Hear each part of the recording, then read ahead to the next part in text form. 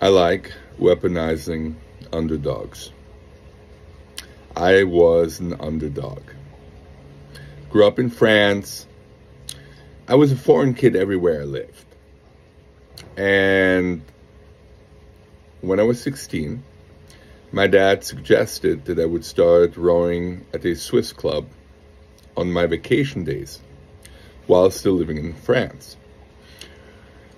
I went, and it was a competitive club, but they did not know what to do with me because my technique was not that good.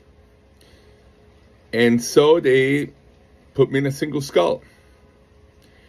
When I was rowing on a lake during a camp, an Easter rowing camp, and we knew that the national team coach was going to come by and check out some of the rowing that, that the club was doing. It was a beautiful Easter morning. I could hear the church bells ring and echo across the lake in Switzerland. It was amazing. And I was rowing along and I knew that coach was out there. And I saw him at the distance. Those lakes are really big, so it's like you can see someone at the horizon. And I was rowing along. Then I saw the coaches, the national team coaches launch, veer away from the boat that he was following and started driving the launch towards me. And it took a while because I was that far away.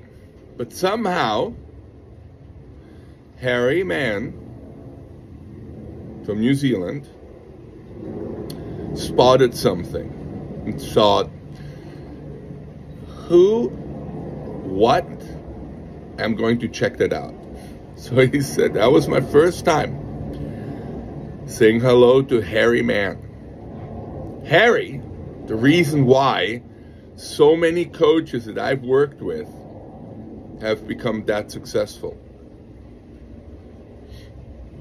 He's the reason why gold medals are still won at the Olympics. Harry Mahon. And thanks to him, from being in a way an underdog, not really fitting in, he weaponized me.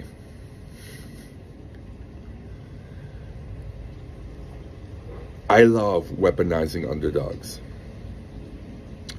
because underdogs aren't part of the group.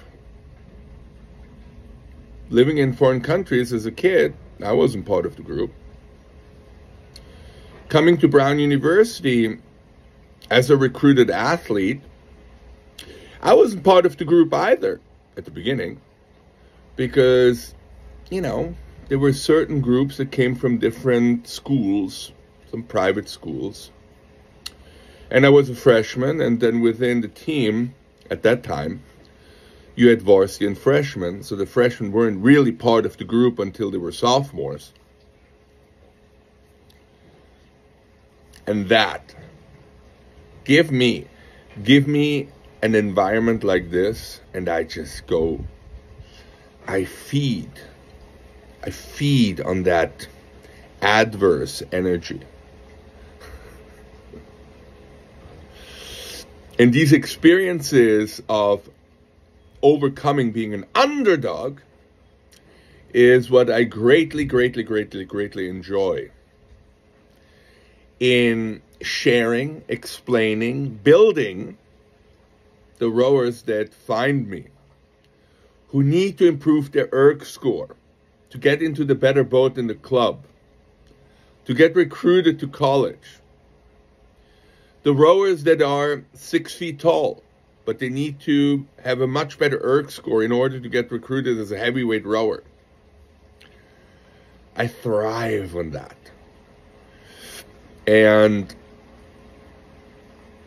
it feels amazing to watch my rowers access their dreams because I was able to coach, pass the information along, show them how to zig when they need to do zag as well. and getting there. I love weaponizing underdogs. I'm not saying if you're a top dog that you shouldn't also get my coaching and get from, let's say, 615 to 605. I can help you do that. And the people at 605, I can get them to 555. And the people who are at 555, I can get them to 545. Not sure about further down. Okay, I'm being realistic. The women, if you're if you're trying to break eight, I can help you break eight. If you try to break 740, done. Breaking 705, uh, it gets harder. Okay, so I thought I would share that. Let's go. Let's get it done. Let's get you recruited to the college of your dream because it's a life changing experience. Like it was for me. Thanks to the coaches that I had. Over and out.